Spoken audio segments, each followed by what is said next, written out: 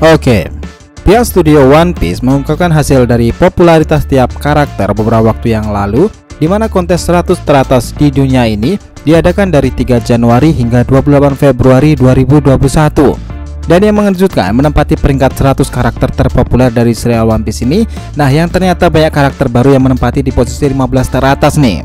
Hmm penasaran siapa aja mereka? So relax ini akan sangat menarik buat kita intro dulu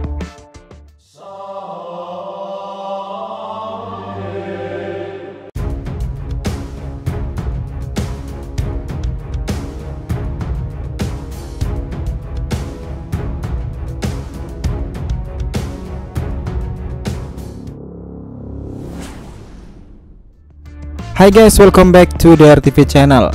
Nah kali ini kita akan membahas mengenai karakter terpopuler One Piece di tahun 2021 Oke, biar nggak salah persepsi silahkan tonton sampai habis ya. Nah polling tersebut memberi peringkat 100 karakter teratas dari ribuan karakter dalam serial One Piece sendiri. Pemungutan suara ini diadakan di enam tempat berbeda yaitu Asia, Oceania, Amerika Utara, serta Jepang Nah, Amerika Latin sendiri, Karibia, Eropa Timur Tengah, dan tentunya adalah Afrika. Hasil pengambilan polling ini diadakan di berbagai daerah spesifik untuk tempat tersebut. Dan akhirnya pada tanggal 5 Mei, hasil pollingnya itu dirilis. Selain hasil polling individu, hasil keseluruhan juga dirilis nih. Nah, diperoleh dengan menambahkan poin dari tiap karakter-karakter yang telah ada.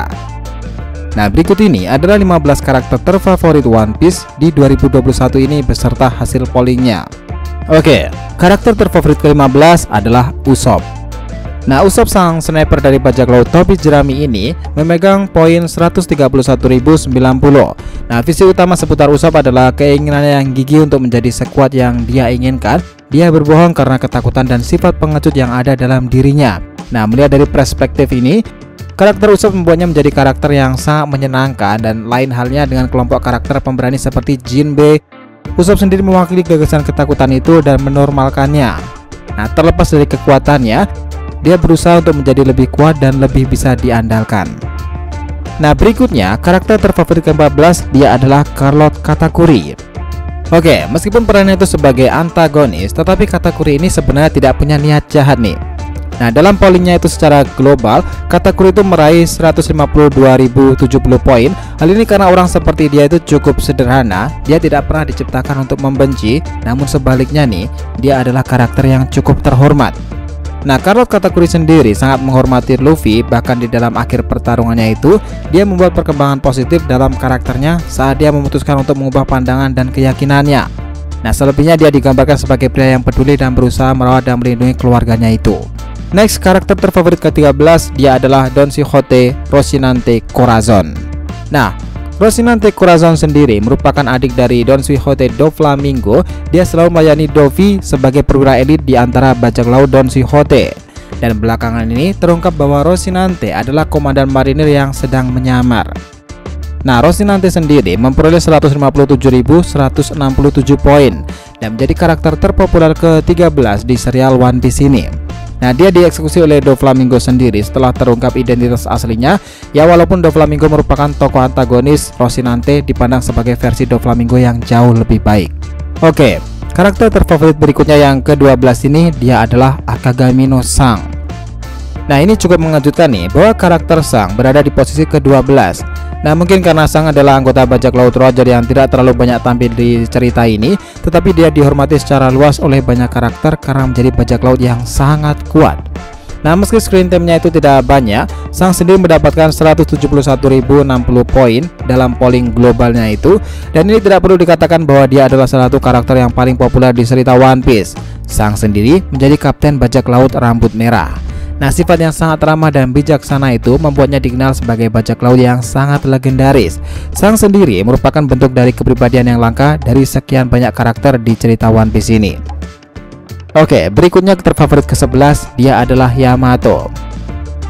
Nah, sejak pengenalan karakter Yamato, kemunculan Putri Kaido ini begitu ditunggu-tunggu oleh para penggemar. Dan pada saat itu, Yamato muncul dengan memakai topeng untuk menyelamatkan Luffy yang sedang dikeroyok Ulti dan Pex One. Nah, di sini Yamato merupakan karakter yang cukup menarik perhatian di cerita ini. Dia telah membuat banyak penggemar One Piece untuk mendukungnya itu. Nah, dalam polling globalnya itu menempatkannya di peringkat 11 setelah karakter ini memperoleh 259.738 poin. Dia adalah karakter yang baru muncul di Art Wano ini, tetapi dia memiliki banyak hal yang terjadi di sini yang telah membuat penasaran banyak penggemar nih. Oke, kita masuk di urutan terfavorit ke-10, dia adalah Sabo. Nah, di sini banyak yang menuai kritik nih terhadap karakter yang satu ini. Karena sebagian besar para fans itu mengingat dia adalah salah satu dari 10 karakter paling terpopuler di One Piece saat ini dan Sabo ini memperoleh 318.869 poin dalam polling globalnya itu.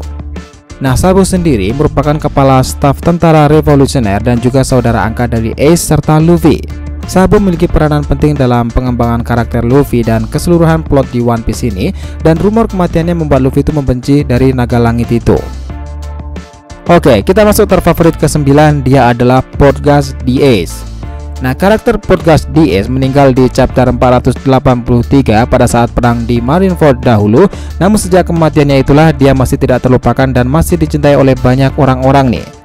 Tidak hanya mendapatkan 355.503 poin, Ace juga berada di peringkat 10 besar karakter yang paling populer di cerita One Piece secara global. Nah, salah satu alasan mengapa dia menyatukan begitu banyak fans adalah karena para fans dapat bersimpati kepadanya. Dan tentu saja, S ini keren dan sangat kuat, tetapi dia juga punya cerita yang sangat memotivasi seseorang. S bertahan ketika dunia membenci keberadaannya dan tumbuh melalui penderitaan. Nah, tidak hanya satu karakter yang paling keren di dunia One Piece saat ini, dia itu juga memaknai kehadirannya di setiap perjalanan hidupnya. Oke, kita masuk ke urutan terfavorit ke-8, dia adalah Karot. Nah, Carrot sendiri merupakan bagian dari suku Ming yang sangat lucu serta merupakan pasukan Mosquitor dari Inuarashi. Nah, kepribadiannya yang cocok dengan Luffy ini karena dia menjalani kehidupan yang ceroboh namun santai, namun berbeda ketika dalam mode bertarungnya itu. Carrot bisa sangat serius dan sangat intens.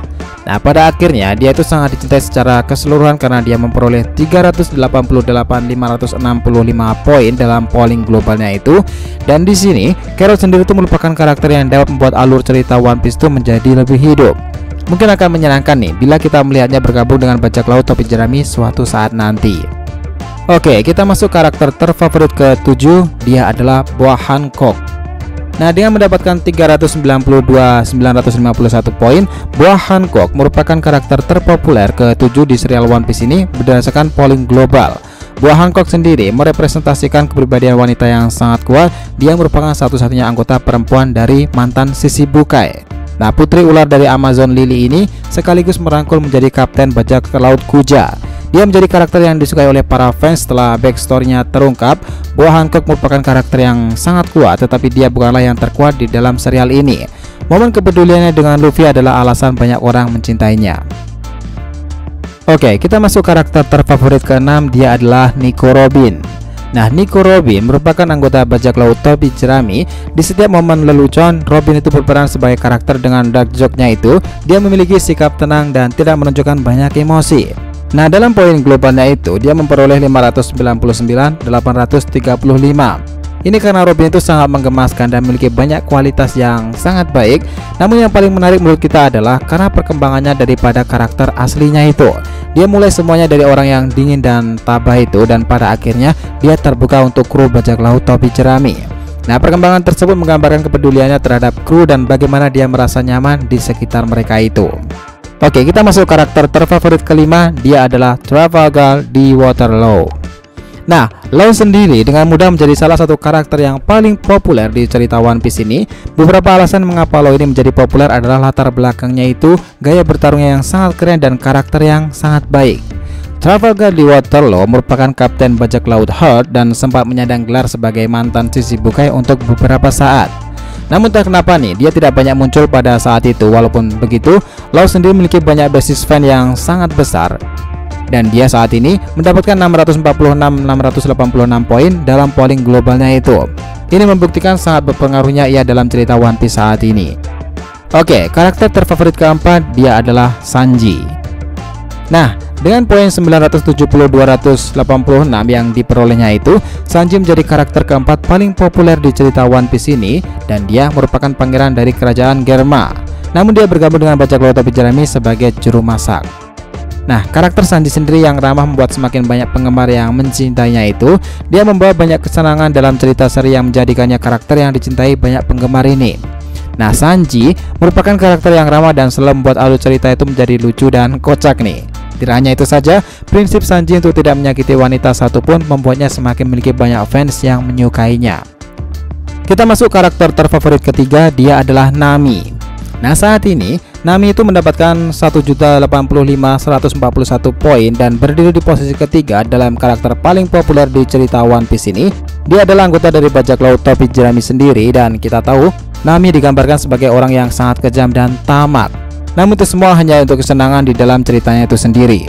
Nah saat ini kita akui bahwa kita semua pernah tertawa melihat Nami yang mengamuk sesekali itu. Selain itu nih, Nami merupakan petarung yang cukup bisa diandalkan. Dan rasanya One Piece akan kehilangan banyak hal jika tanpa dirinya nih. Nah selain memiliki gaya bertarung yang unik dan luar biasa itu Dia juga menjadi seseorang yang selalu mendukung karakter wanita yang sangat kuat.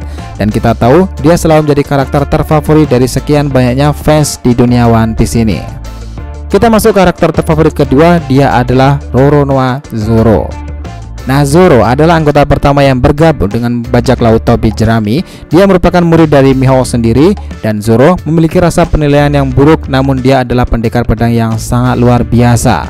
Kepribadian yang buruk menjadikannya karakter terfavorit bagi para fansnya itu, apalagi dia sangat setia kepada Luffy dan krunya itu. Roronoa Zoro adalah tipe karakter yang tidak memberikan alasan untuk membencinya. Nah, beberapa orang mungkin lebih menyukai karakter lain daripada dirinya, namun hampir tidak ada orang ataupun fans yang tidak menyukainya.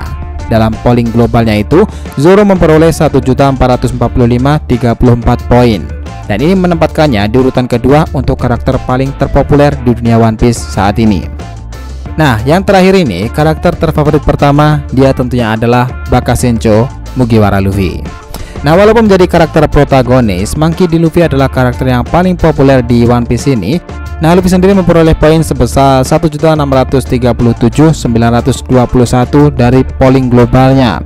Luffy menjadi representasi kebebasan di One Piece dan inilah yang menjadi alasan utama mengapa dia memutuskan untuk menjadi raja bajak laut. Nah, para fans akan menemukan ratusan alasan untuk menyukai Luffy sendiri karena dialah yang membuat One Piece ini menjadi sangat-sangat menarik. Hmm, gimana berpendapat kalian? Semoga jadi itulah tadi pembahasan kita mengenai karakter-karakter terkuat One Piece berdasarkan polling globalnya itu di tahun 2021. Jangan lupa kasih saran di kolom komentar dan subscribe channel ini. Semoga ceritanya itu memberikan informasi dalam tiap pembahasan animenya. Thank you telah menonton konten DRTV and will be come back.